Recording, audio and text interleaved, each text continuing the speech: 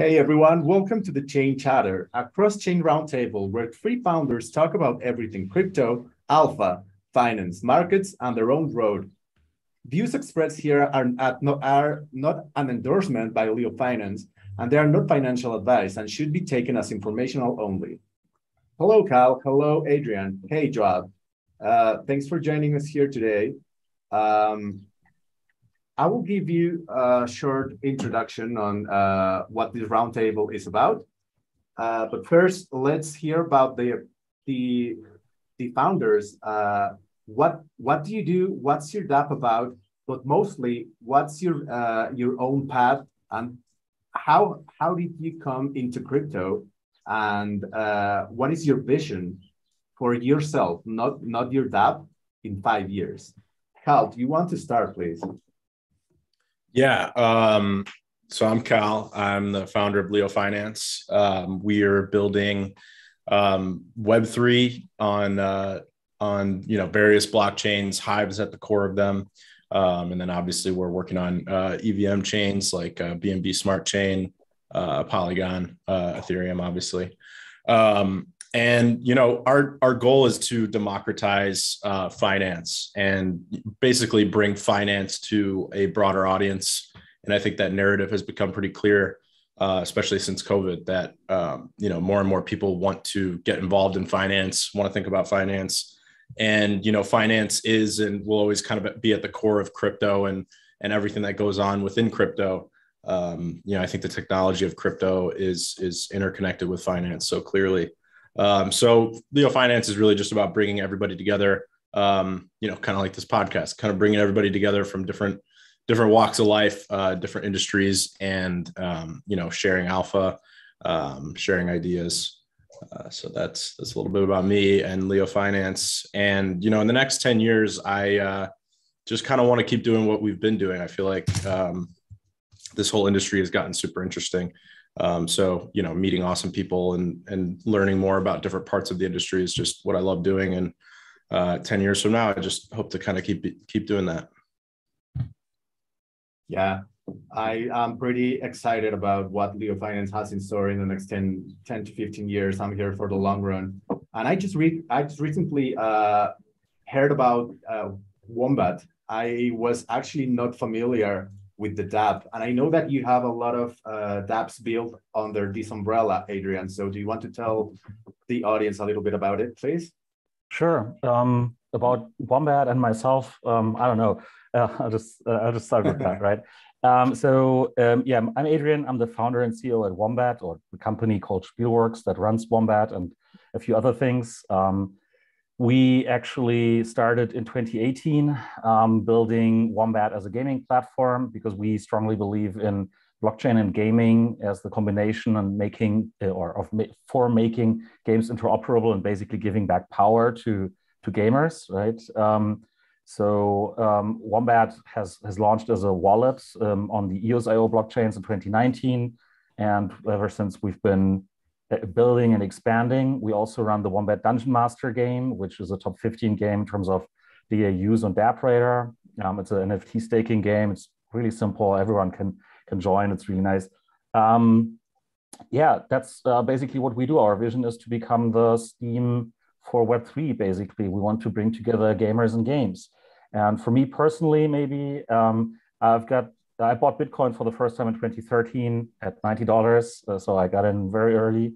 Um, been, been in the space forever. Um, and I basically think for me uh, personally, um, blockchain is um, the missing link that we've had, or kind of a, the, the solution to a misdesign in the original internet, right? The original internet uh, allowed us to transfer and duplicate and replicate data. And what it doesn't, but what it didn't allow is to transfer scarce things or valuable things, right? So basically, blockchain just fixes that because that wasn't possible before, at least not natively. So we had to build huge industries of middlemen, right? Um, like the PayPal's and banks and whatever. So um, my vision is basically that um, blockchain and crypto and decentralized um, value trans transmittable networks um, become ubiquitous in the internet, and we will not use any any things like PayPal anymore to transfer value over over the internet.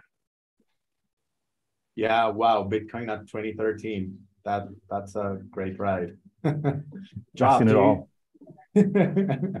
Drop, do you want to uh, give us a little bit about um, well, yeah, I, for sure. I I wasn't sure if you uh so Gif Game sits on top of Tezotopia, right? Oh well, just just go ahead. Yeah, yeah, yeah.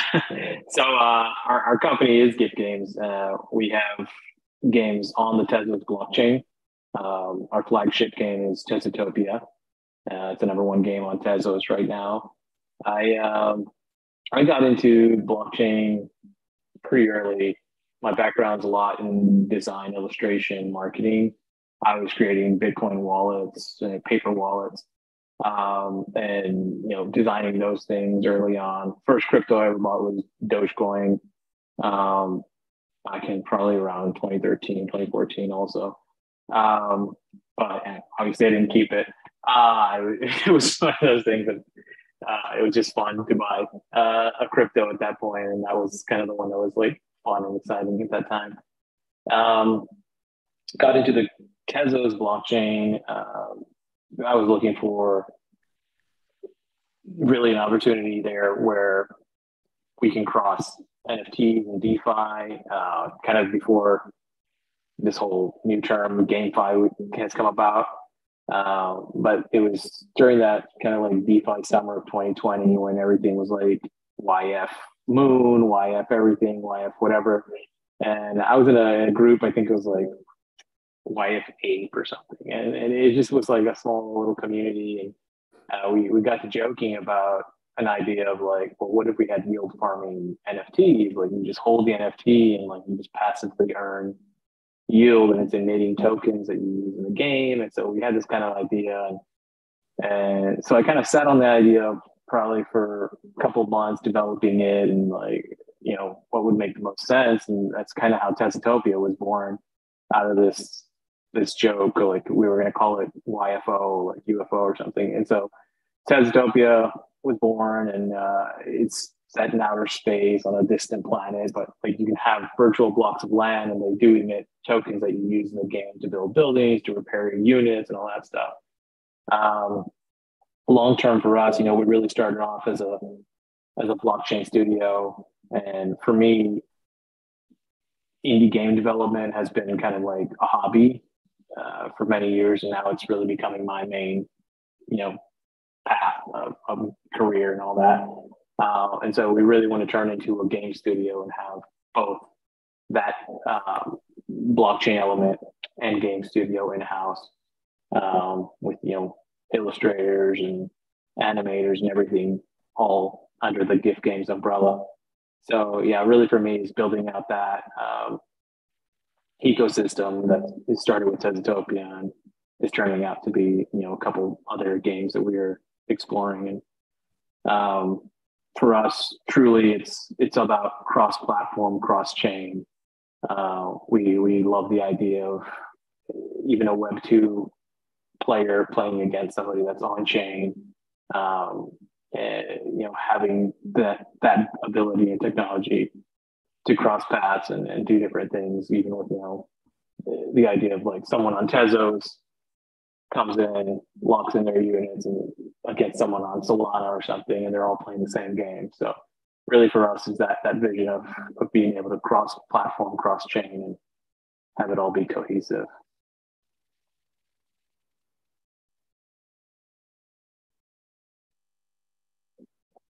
I think you might be muted, Eric.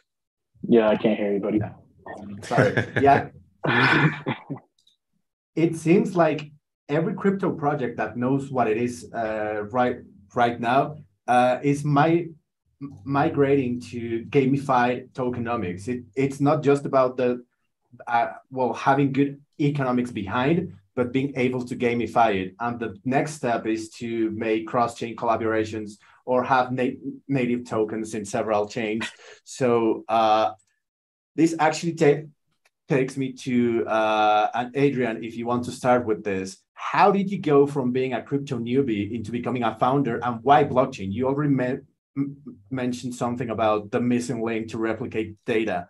But why Web3 and not Web2, which is 10 times easier? It's a bigger challenge to go block uh, with a blockchainized project than a normal project. Uh, yeah, so. I'll start with a little anecdote, which I like to, to tell. Um, must have been back in 2003 or 2004 when I started studying at university, right? So long ago. um, I was I was a big time gamer, um, and uh, obviously online gaming became a thing. And one of the most popular games back then was Diablo 2. Um, I guess most of you still remember, right? And a friend, my I was sharing flats with a friend, and uh, we're like day and night just playing games. Um, and Diablo 2 was one of them, right? And then at some point we're like, uh, dude, we we got uh, we we grind we grinded so hard here. We have so much gold. We have so much so, such a good equipment.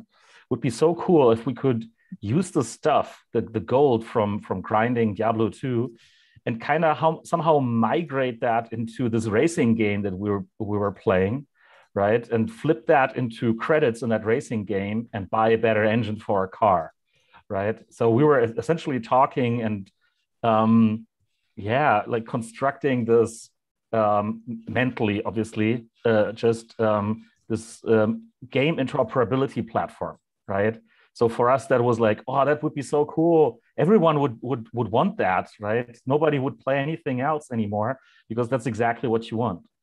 So fast forward um, about like 15 years, effectively, right? Um, yeah, I I already kind of knew blockchain, right? And I I knew that um, this has a lot of potential, but it was mostly like Bitcoin.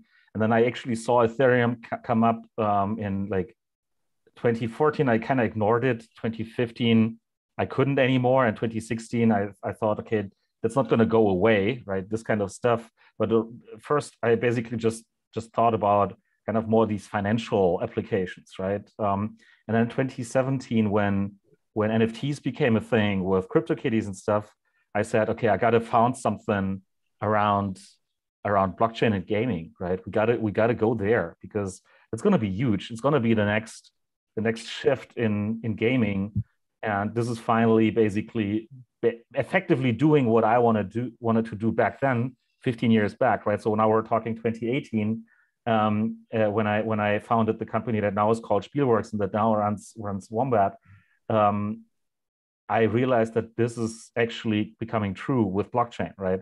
You you will have this interoperability and um, we can obviously talk about all kinds of types of interoperability because it's not just, yeah, you can use this one item that you have in this one game and, and basically also use it in the other. That's just, that's not really a blockchain problem, right? Um, but um, I, I really realized that it's it's becoming so much easier through blockchain to actually have this cross-game interoperability and that games become interconnected and that um, there's a lot of stuff that you can do with that on a, on, on a financial level, obviously on a um, in-game level, but also on a on a social level, right? And on a kind of how how well can you show off, right? And um, uh, yeah, and that that what that's what really fascinated me. I've, I had been a founder already. I was running a, a software services company since 2013, um, and but in, in, late 2017, beginning of 2018, I, I said I need to set up a separate entity to just take care of all things blockchain and, and like really drive that.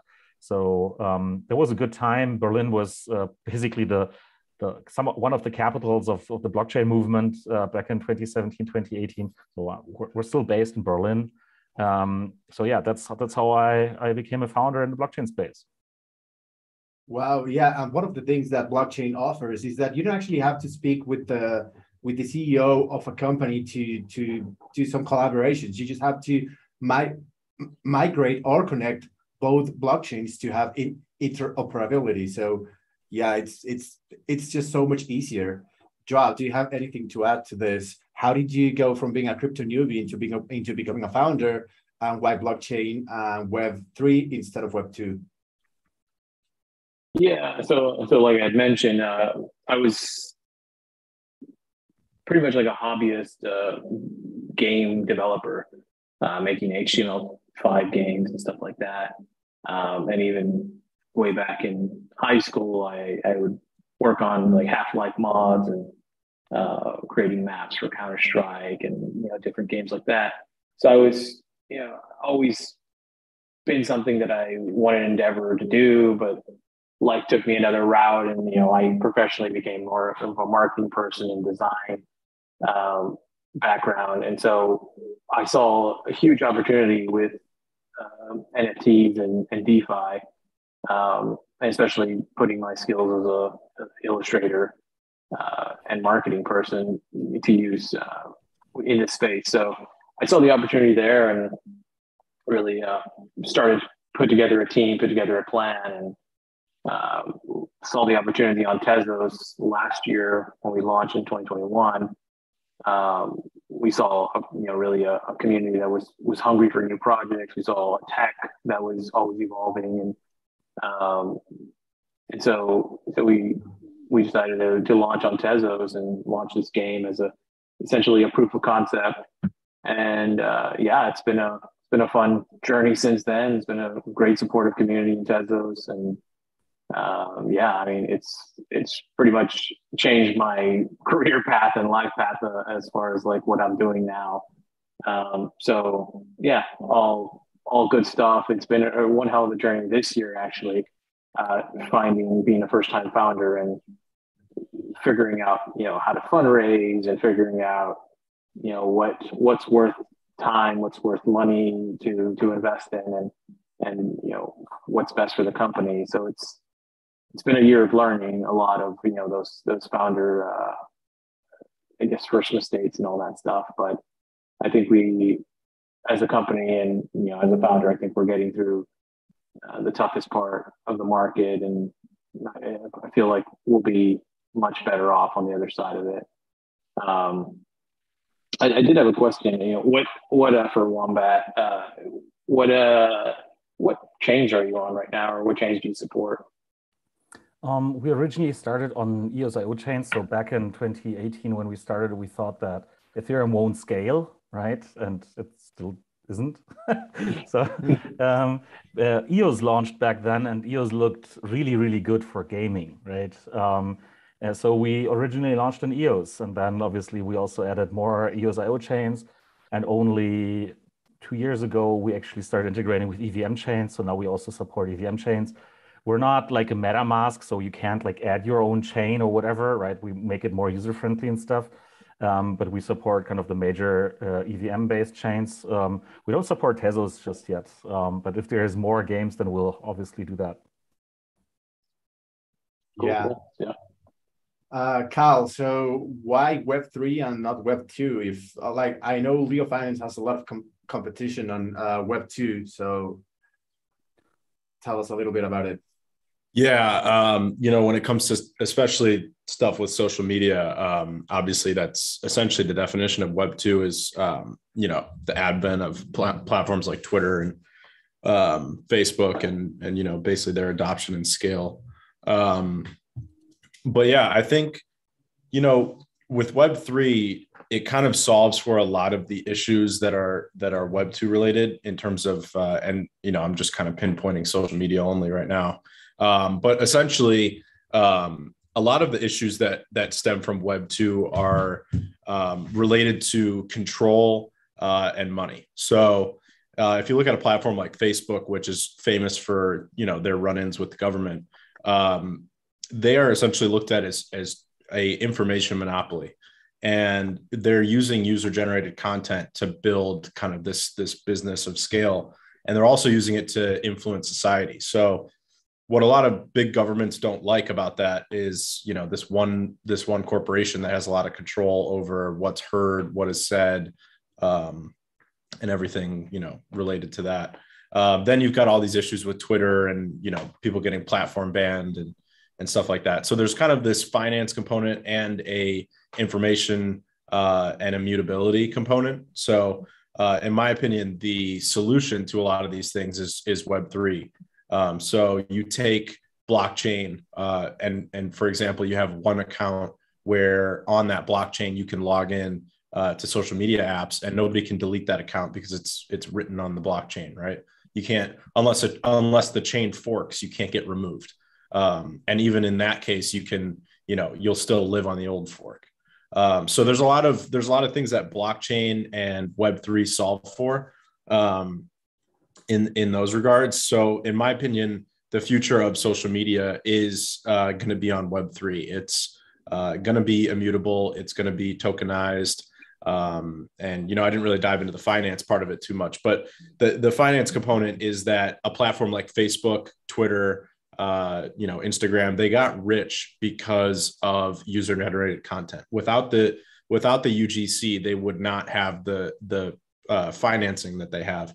So what I'm fascinated with is taking that model of you know ad revenue and and the other forms of revenue that they have and instead of making a corporation rich make the people who are creating the ugc rich. So you know if if all the users can share in the platform's growth and adoption i think that's far more uh, far better for the world than you know a company like facebook just collecting a bunch of wealth and you know maybe employing you know maybe it's great that they employ tens of thousands even hundreds of thousands of people but if you can build a platform at facebook scale tokenize it and give the power to all the people who use it and create the content and ultimately get it adopted um, i think that's a lot better for the world.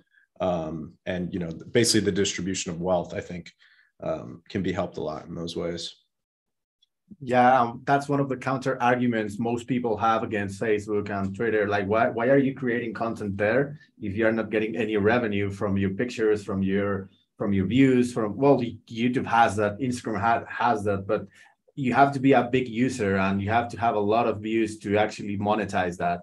So yeah, uh, going to, to into another topic. Uh, so Wombat and and Tezotopia, you are uh, Wombat is a top ten dApp. Uh, Tezotopia, it, it's a top top one game on your own blockchains. So Leo Finance, it's probably the the community with more users uh, in terms of of layer two community created uh, blogging platforms. So, uh, how do you deal with it with investor relationships, and how do you assess collaborations with other projects or with other blockchains? When when do you decide to go venture capital? How do you decide to go with your own funds? Uh, like how how did you achieve this this size uh drop do you want to start with this yeah sure um we were very fortunate to have an incredibly supportive community in Tezos, and uh, we've been self-funded since the onset. Uh, we are now looking for venture capital to see ourselves through the bear market. Um, to be able to continue to build and push out the technology, the games, um, because we know that on the other side of it, it's going to be you know rainbows and butterflies. And going to be great. I mean, it's it's it's at the point right now where, of course, investors are frustrated, um, but it is really for us in our experience, it's really turning. Uh, our head to what's the right strategy to onboard new users? What's a long term strategy? You know, I feel like during the bull market, it was great and uh, it was very easy to to bring in new users and uh, to generate activity on our marketplace and all that. Um, but and, and, our whole focus really was targeting crypto enthusiasts, crypto you know centric uh, uh users. And so now we are essentially branching out and um, figuring out ways to onboard you know traditional gamer a web 2 gamer uh, you know a web 2 individual that you know has never touched the blockchain. And how do we do that is you know essentially uh, a user journey where they're playing the game and they're playing against a blockchain person but they don't have to know that right? Like they don't have to buy an nft they don't have they could have a you know a free unit or a free you know uh, item in the game and still fight, you know, against a blockchain person. And so um, there's a journey there that we're, we're exploring where the Web2 individual will become a free to play version and then earn an NFT down the road or as they level up and rank, then, you know, they can unlock something and then, you know, potentially be converted into a, a Web3 player. Um, but it, it has really changed our focus on user acquisition and what the right approach is.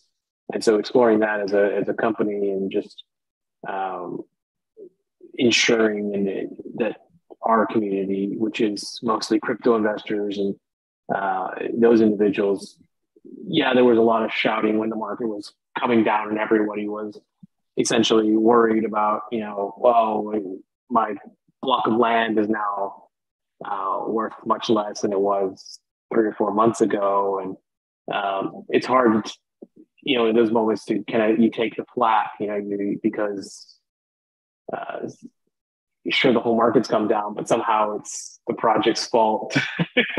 uh, But you know, it's it's it's something that you know we have to as leaders, you know, lead and and, and show you know what the full vision is, and um, and help them understand that hey, we are a game studio. We're our first priority is to make fun games, and you know, it's not to just be churning out NFTs and money and all that stuff. Like uh, you invested in this, you know, and you invested in because you believed in the project, and so uh, keep keep the faith and, and believe that you know the strategy and the approach that we're taking for the future is is going to be the right approach.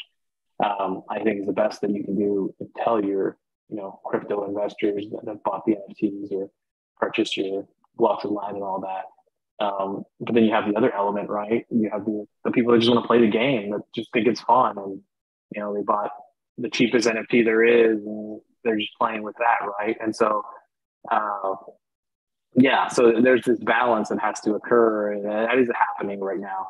Um, of like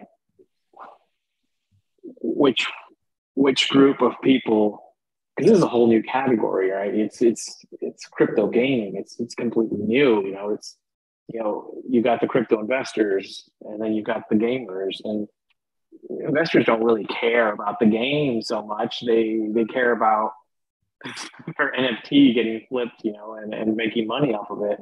Uh, whereas the gamer wants a fun game. And so I, I feel like there's more gamers out there.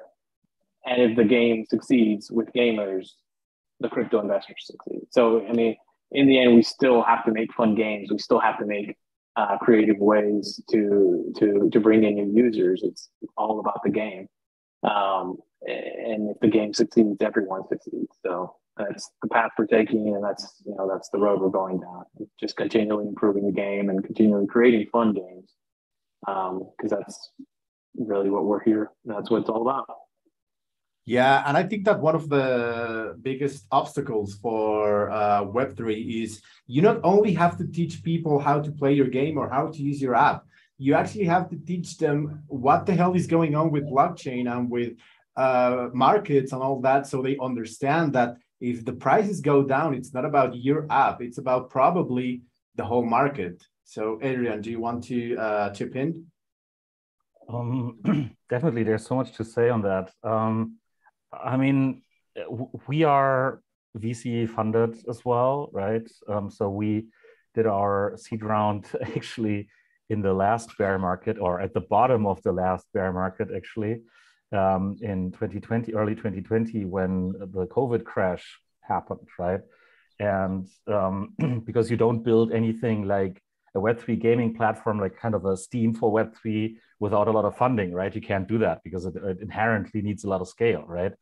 And then in 2020 also, um, we, we, we had a lot of users already, but they, we had no content, right? So uh, we had, we grew to 350,000, 400,000 users in the first half of 2020. And we were this gaming focused wallet, let's say, right?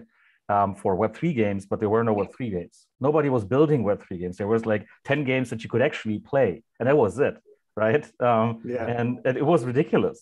So then we started to take a detour, which made us grow even, even faster, even larger, um, because we started onboarding Web2 games and basically built this layer of blockchain of, of crypto and NFTs on top of traditional Web 2 games, right? So that way we could actually bridge from the Web 2 to the Web 3 world and actually attract real gamers to, to the Web 3, right? And so we've grown to over 3 million users now. Um, and um, you obviously have to have a lot of yeah financial but also other uh, other stamina for that right so you need to push through and um, now obviously we've got into the next bear market and we launched our token in this bear market right so in, in july we launched our token um, the wombat token and um, we again deliberately actually chose to launch it in a bear market right because we we saw a lot of opportunity in that because so many people are not interested in just or in the next hype, right? And we, there's so so much less noise now that um, you actually get a lot more people who are genuinely interested in the, gaming aspect of things rather than the get rich quickly schemes, right? So, um, and that's what we want to do. We want, obviously, like with to, to, uh, tokenization, you want to give power back to the people, right? Um, so you want them to participate both from a governance aspect, but also ideally financially um, on the long run. Um, and that may or may not turn out well, right? I mean, people who have been in the Steem or Hive community early on, I remember those days when the Steem token was, I think, seven dollars back in 2017, right? And um, then everybody yeah. got got really got really uh, anxious when it started going down because they had invested so much time and maybe money and energy into that, and it never recovered ever since, right? Um, and uh, but but the people who st- still stick around, these are the real people. These are the ones that who really believe in it and who really like see the value of it outside of just the financial value, right? And so I think that bear markets and and um, these downturns are actually quite quite healthy because it's not just about the hype; it's about the substance. And the people who still stick around, these are the, the real ones that you want to have, right? Um, so yeah, um, we basically like because you asked the question about funding as well, right? Um, we didn't want to continue going the pure VC route anymore because um, we think that the things that we're building are so inherently mm, tailored towards having this kind of participation that um, we definitely wanted to go the token route, right? And um, this will, I think, also make us much, much stronger going forward because everyone will have kind of their stake into the, the thing that they're using. Yeah, yeah, exactly. Um, Khal, do you want to chip in on this? Yeah, no, I mean, I just to kind of piggyback off of uh, what Adrian said, it's kind of a bear markets are like the great filter. They, um, you know, they basically filter out the people who are using, you know, Web three in in all shapes and forms, uh, from the people who are who are here to just kind of get rich and and uh, focus on token values. So, um, you know, I, I always love when people talk about, you know, when people who know what they're talking about talk about, um, you know, bear markets and bull markets, because uh, what you see a lot of, especially around Twitter and, and other places where a lot of crypto people gather, is uh, people complaining about, you know, the prices going down. And um, basically they're complaining that they're not rich. They're like, uh, you know, they, they thought they were on their way to buy a Lambo and now uh, they'd be lucky to buy a Honda. Um, and then people get, get upset about that. Uh, so the funny thing, the funny thing about that is that um, you know if you pay attention to people who aren't just you know noisemakers, um, what they're saying is the you know fortunes are made during the bear market and they're collected during the bull market. So you know, and I'm sure Adrian knows that buying Bitcoin back in 2013, he's been through every sort of cycle you can imagine, and you know he he didn't get rich by buying at the top of the bull market. Uh, in any in any case, you know, he uh, eh, he and and anyone else in the, in these types of markets, you know, really really hammered down, battened down the hatches, and built their portfolio and their business uh, during these more you know lean winter times. Um, and then you know they they reap what they sow in the uh, in the bull market. So I, I love this stuff because it's a great filter. It's a great way to find out who your real community is, uh, like you were saying, and it, it's a uh, you know, it, it, can be a really fun time if you make it a fun time uh, to build and, and get ready for the future. Yeah, and one one thing that uh, strikes me as very interesting is that um, right now during this this this kind of winter, I've seen many uh, apps, well, apps growing and uh, just just keeping building and So I have this this question for you. So you are all self-funded or started as as self-funded. So uh, this is not going to be financial advice whatsoever. But how the hell did you achieve this? Like, tell the audience how to find alpha, how to assess projects, how what's your process for uh, for being where you are right right now. So you three are are running very successful projects, and you three are uh, well. You know how how the market works. So I'm not asking you to tell to to give the audience the the key to being rich, but what's what's your own process for finding alpha, for assessing projects, for for knowing when to buy, when where where to buy, and what to buy. So, Khal, do you want to start with this? Sure. Yeah. Um, you know, it, naturally, I find a lot of my alpha on Leo Finance. You know, it's kind of one of the main reasons why, uh, you know, we started it back in the day. Uh, was really just to kind of create a gathering place where people could share stuff like that. Um, so it's kind of my natural my natural go to where I where I kind of get an initial look at a lot of different things that are happening in the crypto space. Um, and then you know from there I, I, I basically take a take a project and I'll uh, look through a lot of different things. Um, you know, I think white papers are great, and I, I like reading white papers. Um, I'm definitely a, a, long form content kind of person. You know, whether it's a podcast or um, you know, it, like a book or you know, reading an article, I, I prefer that over short form. Um, so I love that, but but I do think white papers are a great place where projects can dress themselves up. Um, where you really want to look to to you know kind of get to the meat of a project is what the community says and what uh, their team is actually doing. So what I love to do is is kind of dig through the actual activity behind a team. Um, you know, if they have a public GitHub, I love I love seeing their commits and seeing how active it is. Um, and if if they don't, and it's you know a different type of project, um, you know, I like looking at where the team's updates are. You know, how coordinated they look, um, and things like that. I think I think a lot can be said for both community and leadership. Um, those two things are kind of the biggest contributing factors to a successful crypto project. Um, really, a lot of crypto projects just are aiming to not die during the winter and build so that, you know, eh, kind of like what I was saying in my last point, build so that they can reap the rewards in the uh, in the bull market. Um, so I would say a lot of it, a lot of it comes down to um, you know how fragile a, a project is. So if you can find a project that isn't fragile and you can find a project that has kind of these core characteristics uh, you might be on to something. So you know a big one for me and i have no relation to them is is THORChain uh, with the rune token. I, I, love what they're building and i love uh, what they have going on. And a, a, lot of why i've invested so much in that project is uh, because of what i see their team doing what i see their community doing and saying um, and that's really how I assessed it. And you know, I've been I've been buying it for probably almost three or four years now. Um, and uh, yeah, I, I think alpha alpha is everywhere in crypto. That's kind of the cool thing. You you never know when you're going to find some. Um, so when you find it, um, take advantage of it. And uh, that's really that's really how I got my my nutshell in, in crypto. Yeah. Uh, Joab, you you also mentioned that you started uh, as a self-funded company. So, do you want to share your your take on this? How do you find alpha? What, how do you assess the markets, other projects? Not financial advice. Sure. Yeah.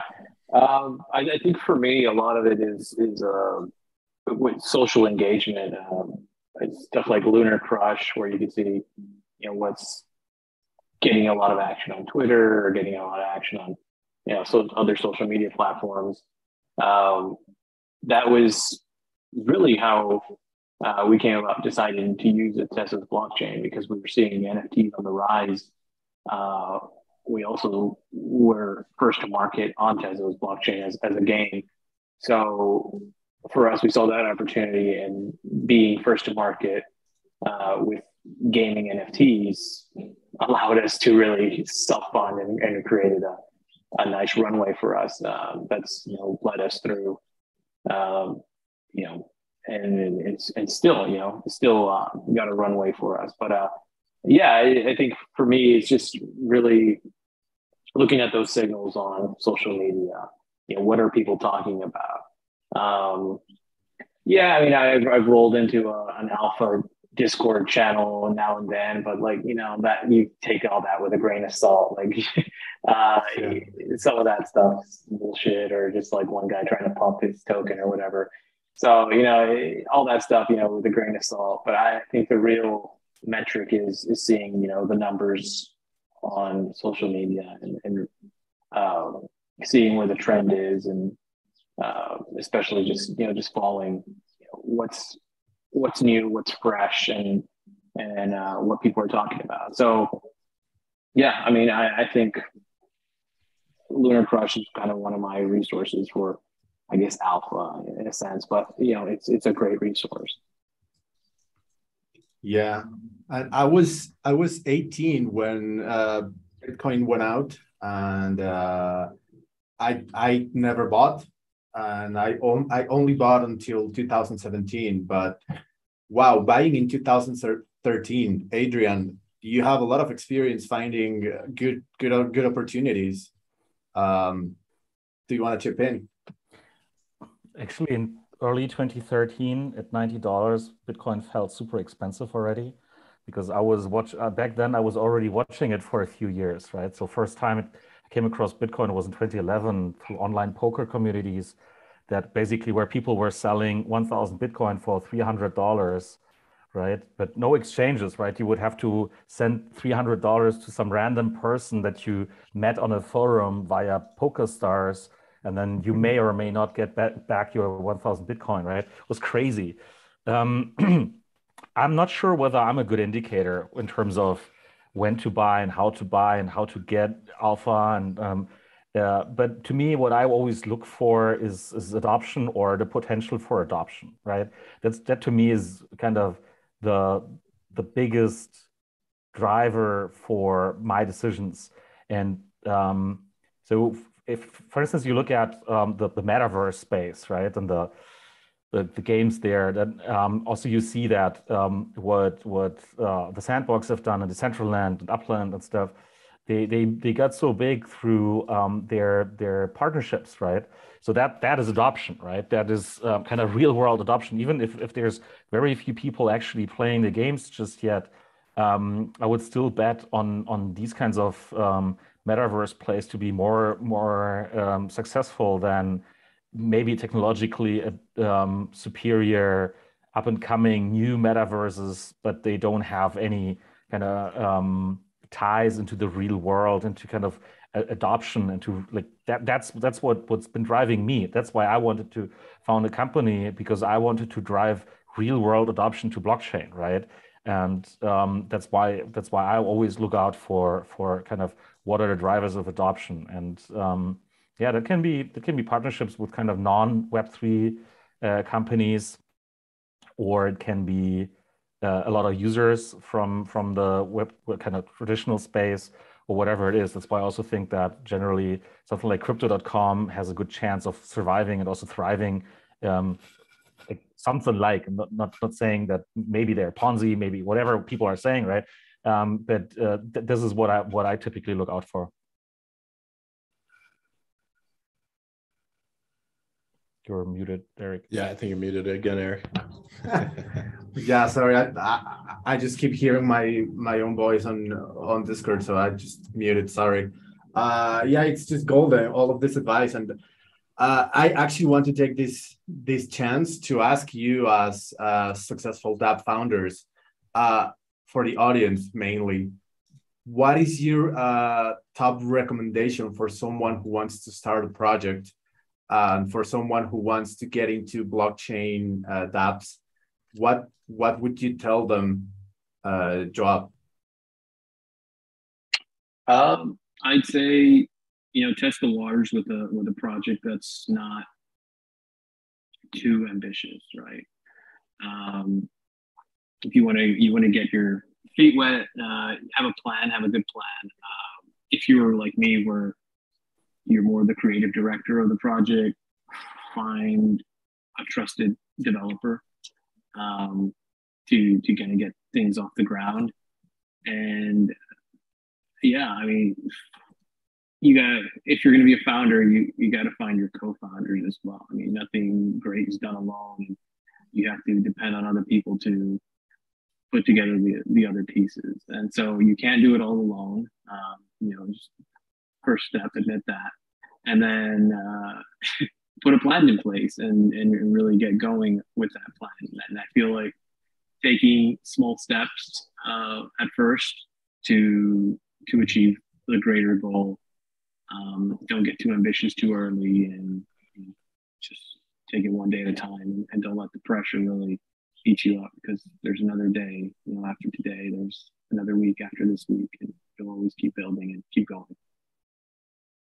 Adrian, before Wombat, you were uh, you you mentioned you were um, managing another company, so you have some some experience there. Uh, what what's your main advice for someone who wants to create a company or to start a startup or to create a DApp? It's funny because uh, when I ran my my uh, IT services, software services company, I had a lot of people approaching me. Hey, can you build that? Can you do that? Right? Um, you you and your team, you could probably build that, right? And I was like, yeah, sure, we can, but why? Right? Tell me, like, pitch me why I would build that with you. And uh, most of the time, people were actually struggling, really putting their vision and their um, their concept into into like live, even even if it's just talking about it, right? Even if it's just showing something. And um, so uh, that, that it's, it's still the same, right? Uh, people always think they tend to think that they can't do something because they don't have the resources in terms of developers, in terms of um, yeah, I'm being blocked by this. But the most important thing is to get started, right? You should get started. So in, in, in, this in this web 3 world it's so much easier than before to actually get started right? It, originally it was super hard but nowadays we have a lot of cool tooling. You can basically just create your nft collection right? You can distribute that to others. You can collaborate with other, others. You don't have to be an artist but artists obviously have a, are having a great time in the nft space. Um, and you can basically just do fun things with tokens or you don't even have to know what a smart contract is to set up your own token, right? Um, nowadays. So it's it's it's really cool. You can do so many things with crypto and NFT stuff um, without even coding a single line of code. And um, I think this is where everyone should just get started, right? Just find a concept, find like build your own world of what you want to build with um, within the space. Like find your niche, find your community, and start talking about your things and start developing your idea and move on from from where you are. It, typically, as Joab said as well, if you're super ambitious with your idea, you're probably not going to get there, right? Because it also probably is going to change at least three or five times on the way, right? Um, you you will probably like especially in this space, you will probably not know what's going to come out at the end. When when I first started, I didn't I didn't know that what what I'm building now that this is what I would be building right? Um, and that's totally fine. I think it's it's it's not like that for for most of the people who are building a Web3 space. So it's the most important thing is just get started. Don't wait. Don't wait for a better opportunity. Don't wait for a better market. Don't wait for better people. Just get get going. You'll find people. You'll find the people that you'll be that you want to work with. You'll find people who want to work with you. You'll find like if you do great things, other people doing great things will find you. Yeah, and I think that's a good point. I mean, just to be flexible because you do you do find yourself pivoting a lot and changing really the the vision as things progress and, and as the technology advances so quickly in this space. That's also another thing that you have to stay on your toes and be able to evolve. Yeah, fifty percent is just starting. Uh, Khal. Yeah, you know, I think I think resilience is uh, probably the number one uh, thing I would tell anyone who's who's starting something in crypto, um, who or I mean, not even just crypto, but if you're starting anything really, um, you know, being able to kind of weather the storms and um, be a little malleable, kind of kind of piggybacking on what you guys are talking about is you know a, a tree in the wind uh, you know when the wind is high and the pressure's on that tree breaks if it's if it's too stiff but if you can be a tree that's uh, flexible, if you can be a little malleable, if your vision, um, you know, it you you, you should have a vision that's very strong, but at the same time be very quickly willing to change that vision. Um, you know, kind of like you said, I I when I got started with all this stuff, I would have never imagined doing what I'm doing now. Um, it, it looked a lot different. The vision was a lot different. Um, the general, I would say the general thesis was still there. You know, uh, like I said, the, the thesis was to democratize finance and, and make it more accessible to people. But how we would achieve that vision has completely changed from where it started. Um, and if I were to be too rigid and too uh, stiff in my views on it, uh, you know, the project probably would have died long ago. So I think a big a big key step for any founder, especially you know, crypto is just kind of amplifying that, but but any founder anywhere is to be malleable and be willing to uh, to change your ideas on the fly uh, when you see things that are that are potentially better than you had originally uh, set out to achieve. So um, yeah, I think I think it's I think it's also great if you can look for another co-founder. Uh, like Joe was saying, it's it's amazing when you can kind of find someone who shares a vision with you and who has capabilities that you don't have. It's uh, it's a pretty rare thing to find someone who can do everything. So um, you know everything from marketing to development to financing. It's pretty rare to find someone who can do all of those things, but um, it's a lot less rare and a lot more uh, achievable to find two or three or four people who can do all those things. Uh, so I think it's I think it's really incredible when you can when you can put that together. Yeah, it's just amazing for uh, well to me to to see a blockchain project with 30 40 team team members that just means that they know how how to handle growth uh, which is something that uh, i don't think that many blockchain entrepreneurs know know how to how to achieve. So, uh, guys, how how do you handle growth and how do, how do you handle a, a good roadmap that it's at the same time feasible but ambitious? Uh, Adrian, do you want to uh, go more in depth into this? Um, again, I'm not sure whether I'm a good person to give give tips on that because I'm super impatient.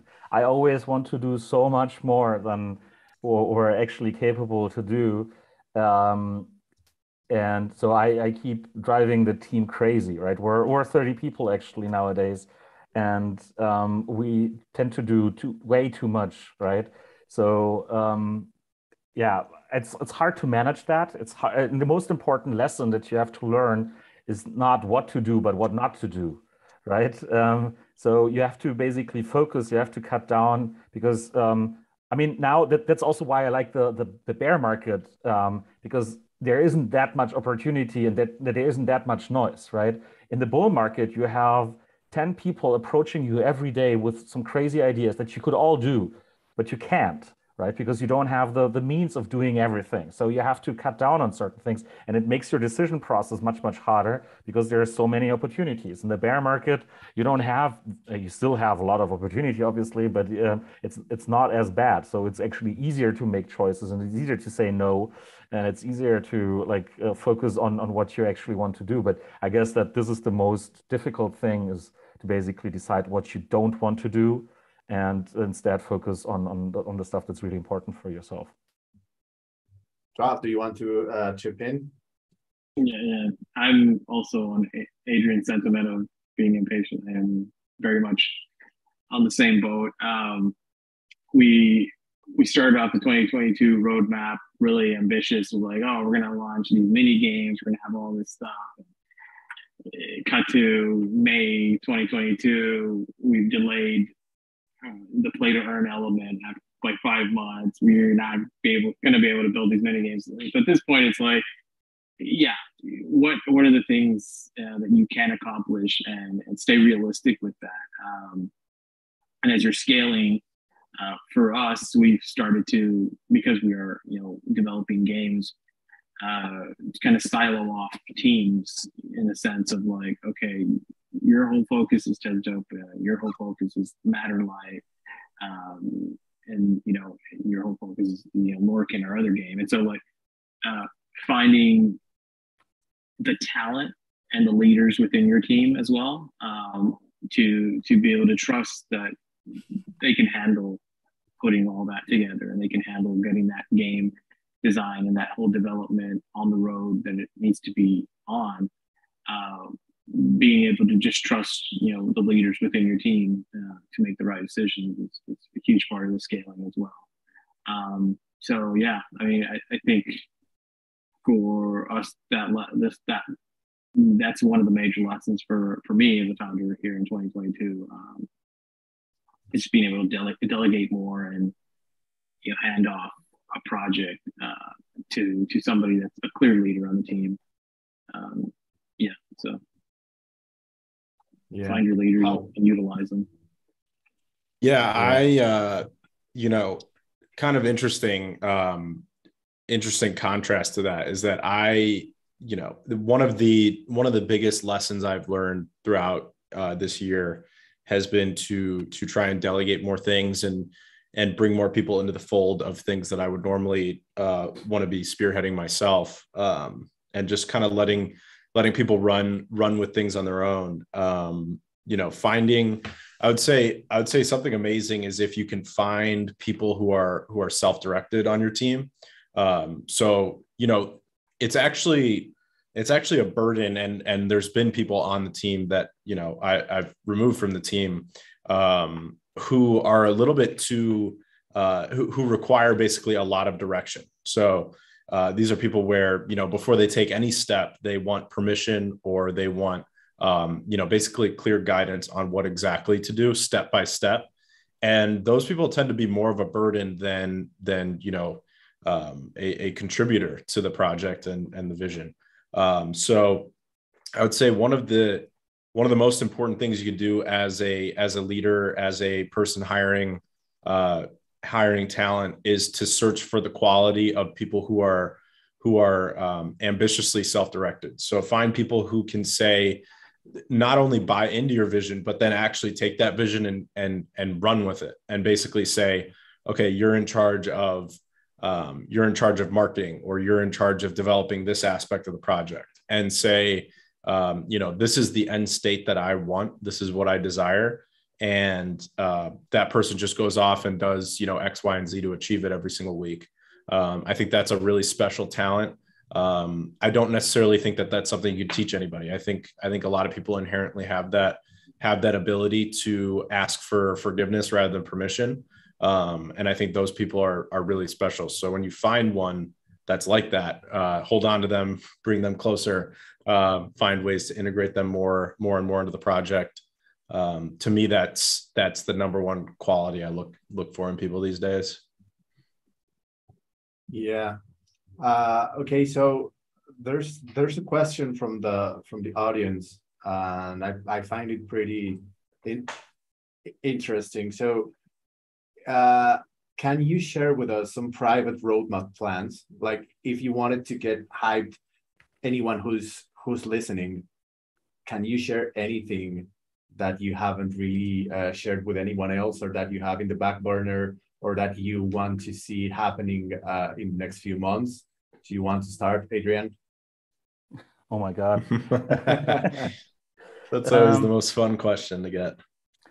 Um, we have a lot of things on our roadmap that we have basically communicated, but we're not talking about it that much, right?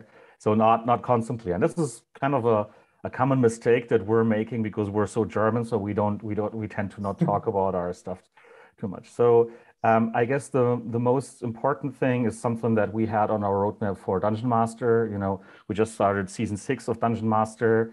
Um, and so it's it's it's been a while already. It's almost a year old the game, um, and we have about like twelve thousand users who played it since since the season started yesterday, actually. Um, and now we're we want to double down on this, right? So we want to be we want to enable people to create their own um, rules and to create to basically run their own dungeons and this is what this is what's what's going to be the, the next big thing for dungeon master specifically right where um, we enable like what what Khal was was talking about, you know, user user generated content and and own like also also user owned content, right? And um, I think that's the power of metaverses, and that's um, that's also something that we want to enable and we want to leverage as well for our community, so that they can uh, actually like make their own rules and and uh, run their own stuff. So that that's that's kind of the biggest thing that's been kind of hidden on the roadmap, and we we kind of spoke about that, that. That it was called kind of the multiple dungeons feature, um, and, but but we never kind of really spoke about how that what that's going to look like. And this is what we're currently frantically working on um, to to actually come up with a concept and come up with a plan and come up with with kind of a real um, yeah directed roadmap uh, for for this feature. Uh, it's more. It's going to be more of more than a feature. It's actually going to be kind of. It's almost like an entirely new game. Yeah, Joab. Do you want to get us hyped? uh, we are uh, going to launch a game on Solana, so we'll be venturing out of Tezos um, and launched on Solana with, with, the ambition to have it be a cro- our first cross-chain game. Um, so that's, I mean, that's not the biggest secret. We've already announced that and kind of put that out there, but uh, that is something coming up on our roadmap. And on the private roadmap, we are launching on an, on an app store. We're launching Tezotopia uh, on an app store, which I can't name yet, but uh, we will be putting out a essentially a Web two version, Web two point five, I guess, version of Tezotopia on the App Store in this this quarter. How? What about yeah. Leo Finance? Yeah, you know, it's uh it's always fun because I I'm like the uh you know, we we run an AMA every week called the When Soon Show because everyone always asks me when and I always respond soon. Um, so I love I love throwing ideas out there and and then hearing when's about them for six months. Um, but you know, this is not not a secret either. But um, we've had it on the roadmap for at least three months now. Um, but we just announced it last week uh, that we're rebuilding the entire Leo Finance UI. Um, you know, we've we've built an amazing interface uh, up to this point. Um, a lot of backend infrastructure that that is really key um, but the crazy thing, and I think you know we've kind of touched on this in different ways throughout this conversation, but the crazy thing in crypto is how fast paced it is, how fast paced this industry is, and and the innovations that happen here. So you know we we built this UI, or we at least started building it about two and a half years ago. Um, and two and a half years in crypto might as well be an eternity because the technology has improved so vastly and so um, so relentlessly uh, that you know it, it kind of starts to get you kind of start to get to the point where things look a little frankenstein together or at least they feel that way. Um, so a lot of times what i love to do with our team is is uh, you know in our in our conversations is you know if we were to just rebuild this from scratch what would what would it look like? Um, what would we do differently and and how would that kind of lead into what we're doing today? Um, and in in some time you know sometimes in those conversations we actually we actually say, you know what, we should just rebuild it from scratch. We we come up with a lot of ideas that that are you know not feasible with the current current architecture and and uh, and and that's always fun because because uh, then it means you get to start from zero and and you get to you get to incorporate a lot of things that that you would have wanted to from the start because now you've got the benefit of hindsight. Um, so that's kind of one of those private, not private things that were on the roadmap. Um, and you know what what I love about rewrites, and and I know you guys are are definitely familiar with this, is that anytime you rewrite anything, you find at least ten things that you can improve. Um, you know, in, in hindsight, every every month that goes by, you're personally and you know from your developer standpoint um, and from your vision standpoint, you're you're learning things that could better uh, better serve your vision. Um, so it, it's really important to not get too stuck in your ways. Uh, kind of like what we were talking about with, you know, what it takes to be a good founder is to be both resilient and flexible, where you can you can look at something and say, you know what, this code is shit. We should restart from zero and and you know build something better.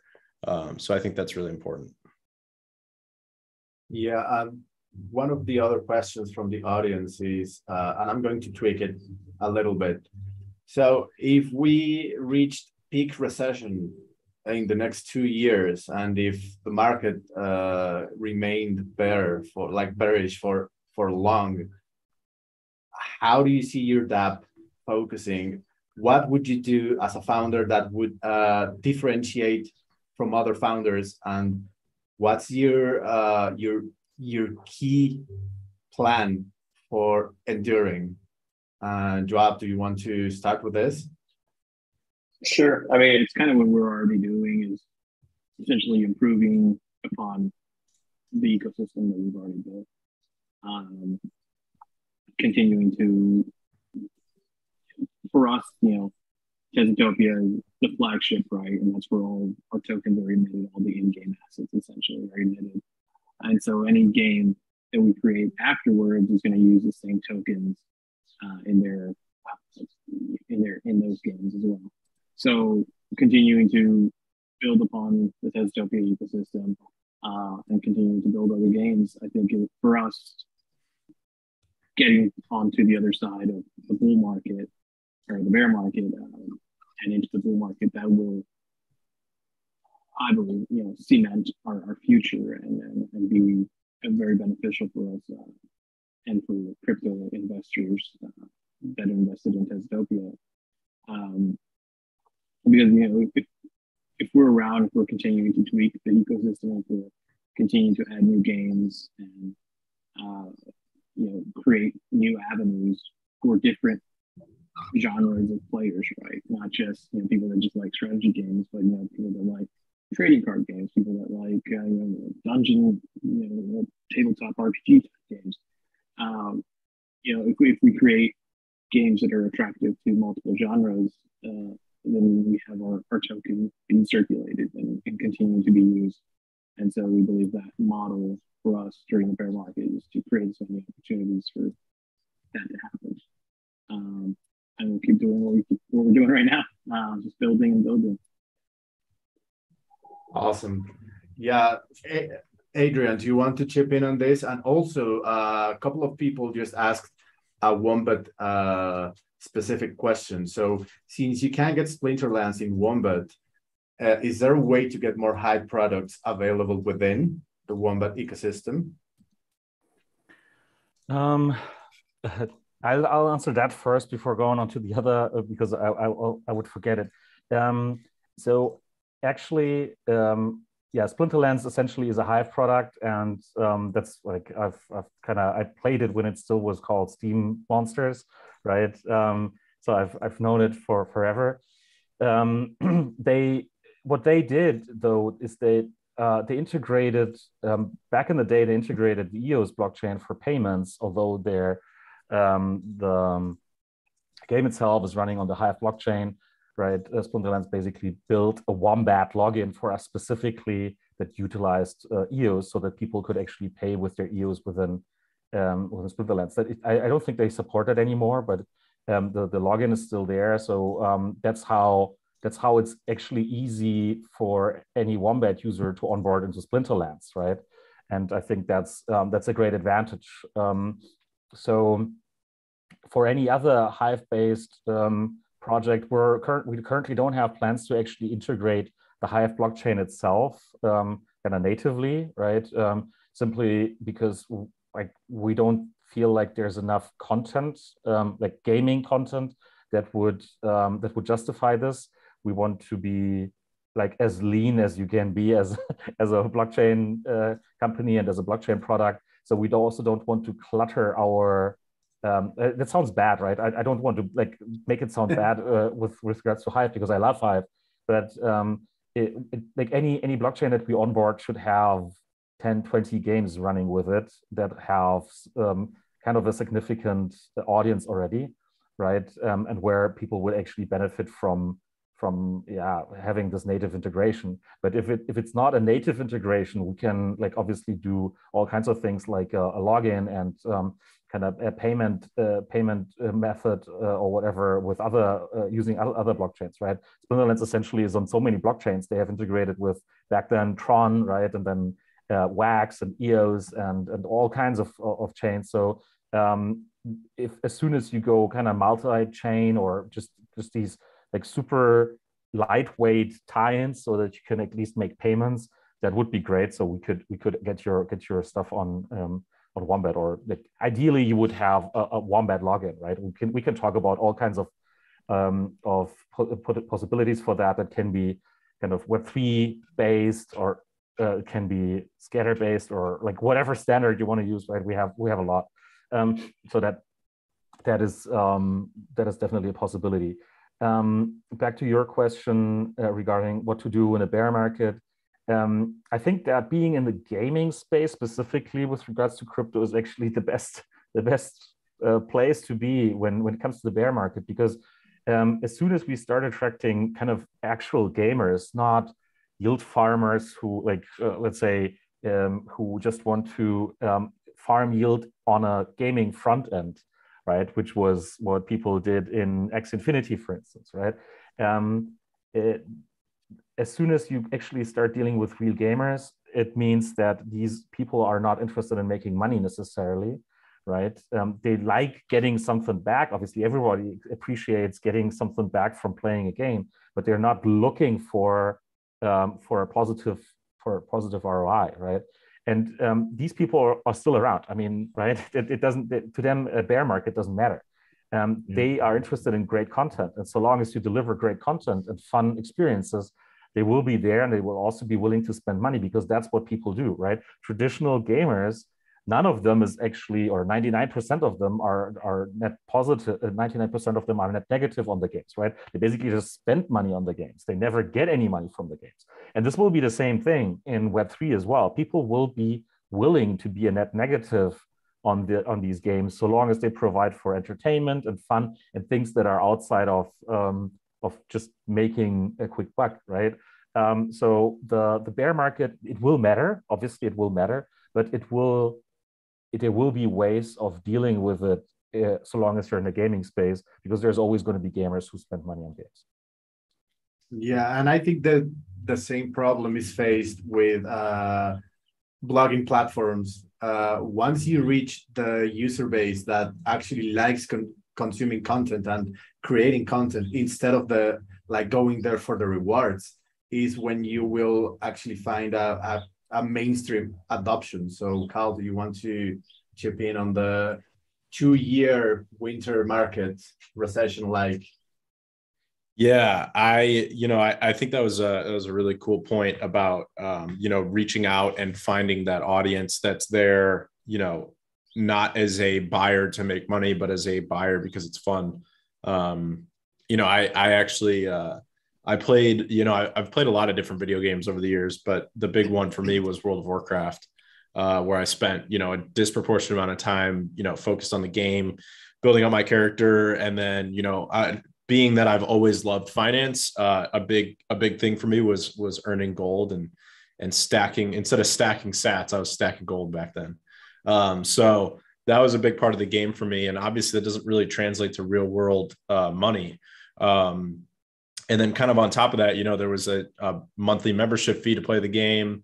You know, you had to pay for expansions, and uh, later on they started adding stuff where you could, you know, buy cosmetic items, which is kind of like the big way that that games, you know, Web two games work these days, like Fortnite, where uh, they're free to play and then have all sorts of uh, in-game in-game items that you can buy. So you know, it's kind of uh, it, it's a really good point that that when you reach the audience of people who say play Fortnite and spend a thousand dollars on in-game items, when you can reach that audience who is willing to spend money because they love the game and it enhances their experience, uh, that's a really special thing. So you know, relating that to blogging and and kind of social finance, which is what which is what Leo's all about. Um, you know, we are trying to target that audience that is focused on you know creating content for the sake of creating content um, and a lot of our focus has turned towards creating an engaging experience. Um, so, like I said, you know, recently we decided uh, basically to throw out the old UI and, and start building a, a, clean slate. And a big reason for that is that we built a microblogging platform on top of what was already there. And microblogging turns out to be a lot more engaging. It turns out to be a lot more enjoyable to use outside of just creating long form uh, blog posts, which is not as not quite as engaging um, and and fun for users. So you know it, it is a really good point that you should create something that's fun, especially in a bear market where people aren't really making a ton of money, um, and focusing on that that really cool user experience over you know come here and get rich. Um, and you know speaking broader as you know like a project owner and and founder and and and business operator you know, I, have talked about this a lot of times, but the key really is building out a long uh, runway where you can you can operate for several years on end, uh, despite maybe not even making any profit. Um, so if you can if you can build your business and build your you know your bank account in quotes uh, to the to the right level, you could you you should be looking at you know probably a three to five year runway where you don't need any funding uh, to keep building, and that's kind of where you know if you go back about what is it October, go back probably eight to twelve months ago. Um, I started getting very concerned with you know the crypto market and kind of the bubbly nature of of where we were at. Um, you know, we we got this major influx of new users and and new capital, and that got me very scared about the crash that would happen after. Um, and we've kind of seen that start to play out uh, these last couple months. So what I did back then was was take a lot of crypto and and spin it out into stable coins and and you know IRL investments and uh, create a runway for for Leo Finance where we could build for you know three to five plus years even if we were expanding and hiring new devs. So whereas a lot of other projects I think in the bear market are are contracting and they're getting rid of developers and um, you know cutting back on a lot of costs we're actually ramping up and uh, and finding new developers and hiring them because you know this is the best time to build like i was saying it's really the it's really the bear market where you can actually find developers who didn't get rich off of you know some crazy xyz coin um, and now they're lazy and don't want to develop now you can actually find people who are hungry uh, to work and and you know earn their living and i think that's a really special thing if you can tap into it Awesome. Uh, and just for for the last question, and as a founder, you have to be well. You have to have some sort of obsessed mindset, and you have to be very ambitious, and you you have to have a very decisive uh, way of life. So, how long did did it take you, if you already did, uh, and how did you reach a balance between family projects and not working 20 hours a day? And how how are you reaching this balance? Uh Joab, do you want to start with this? Sure yeah i mean you probably hear my son crying in the background right now um yeah actually like 20 minutes before he he actually fell in the pool and i had to jump in uh yeah. So yeah, no. So work balance is, um, I, I, mean, I work from home, so our team's fully remote. I uh, work from home, stay close to the family. Um, I feel like putting certain limits or certain time and scheduling things uh, appropriately is really just you know time management's the best way to do things. Um, and uh, for me, my big work period is morning. I'm an early bird, so I get up early, before anyone's awake, and I'm working. And you know, by one or two, whatever, when I when I need a break or so, you know, yeah, I spend time with the family, and then in the evenings and weekends, you know, just make sure to have time for the family. Um, but I think scheduling it out and making, you know, making time. You know, but for me, it's easy because I, I'm work from home, so I can always just pop out and just like help my son with something or uh, my wife with something. So it's like and, and just like spend time with them. But um, yeah, I, I think in in different situations, I feel like just finding the right time management and making sure that you're there because it's it's not it's not it's also mentally healthy. You know, like if you're just absorbed in the work, for me at least, uh, can cause anxiety and can cause a lot of stress. And uh, I've been there working 15, 20 hour days and just like waking up in the middle of the night and feeling I need to solve the problem at like two in the morning or something. You know, it's it's gonna happen um, because you love what you're doing, but you know, you also have to find time for yourself and, and make sure that you're you're managing everything properly. Yeah, and especially when you already have a family of your own, it's it's hard to find that that balance. Uh, Adrian, what about you? Um, yeah, it's hard, um, but I but I think that actually being an entrepreneur and, and running your own business, that's actually the best possible lifestyle that you could have if you get it right. If you want to have a family and and, and at a good balance between stuff that you love doing, because that's essentially what what I do as a as a founder, right? Um, I can choose what I want to do. I can choose what kind of direction I want to go. So I can choose the direction that I actually appreciate myself, right? And so it doesn't feel that hard to get up at five in the morning and work before the kids get up, right? Um, or um, put the kids to bed and then sit here. To me, it's almost midnight now, right, in Berlin time, and, uh, and do that because it's fun. It's it, I, I genuinely enjoy this. So I think that actually being a founder and and um, kind of reflecting um, about what you want and what where your priorities are, and do that and doing that very often, doing that very regularly, that actually helps reaching that that balance. And to me, it's the the, the best the best thing that I could be doing, right? So um, I, I really enjoy it. I, I enjoy both, right? I enjoyed uh, having time with my family, and obviously my, my wife might might be saying different things about that, right? Um, but um, I, I, I really enjoy it. So um, and I think it's it's yeah it's it's great to to combine that.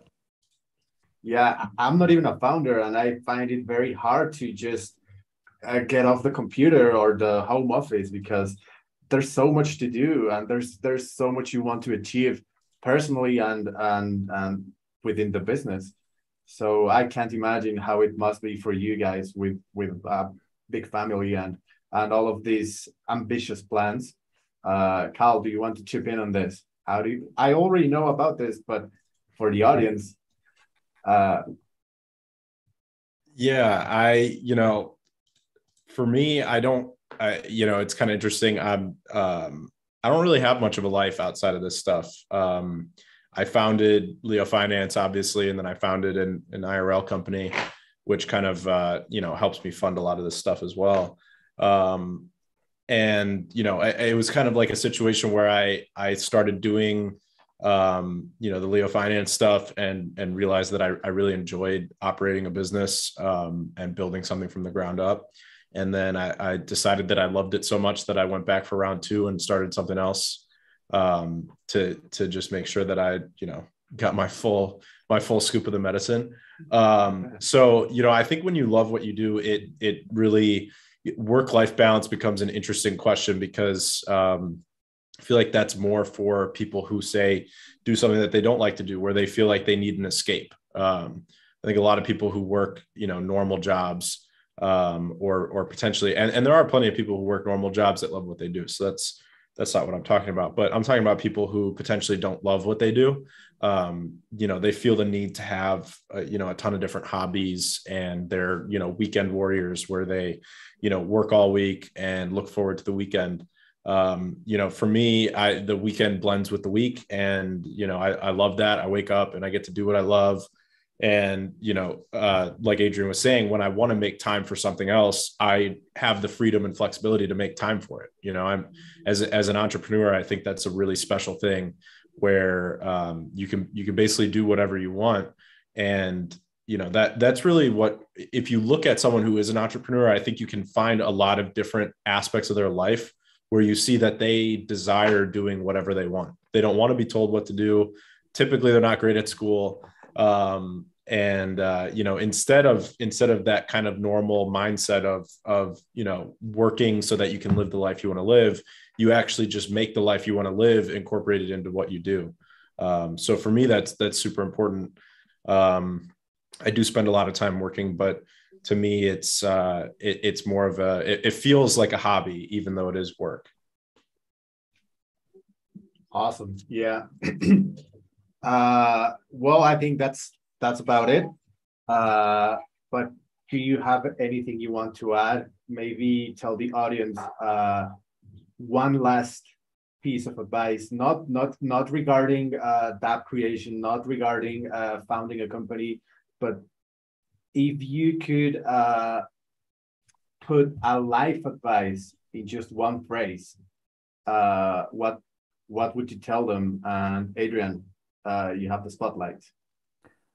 I would tell them it's still early. Just get on it. Just do it. Uh, it sounds stupid, but uh, this is this is what what needs to be done. We need a lot more people who who love doing stuff, who love being creative. There there's plenty of opportunity, um, and we're still early, so just get on. Charlie.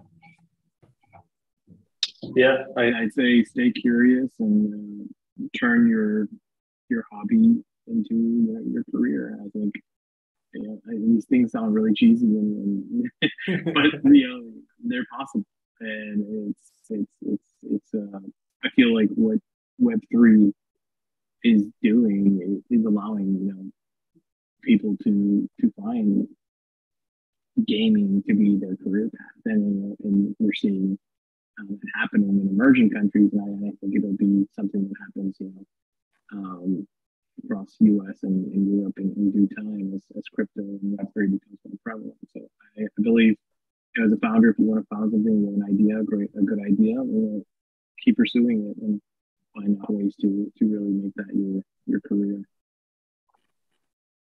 Yeah, if I could, uh, if I could synthesize what I feel like everyone is saying is uh, do what you love until you love what you do. Awesome. Thanks everyone for uh, for tuning in, and thanks everyone who's uh, listening to this later on. We hope to have uh, Joab and Adrian later when this show has hundred thousand viewers. Um, yeah, thank you guys.